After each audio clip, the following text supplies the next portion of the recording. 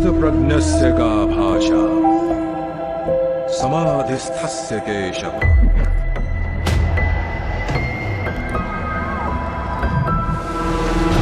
किमासीत व्रजेत किम?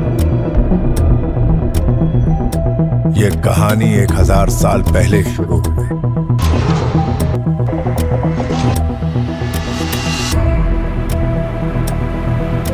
इतिहास में कई बार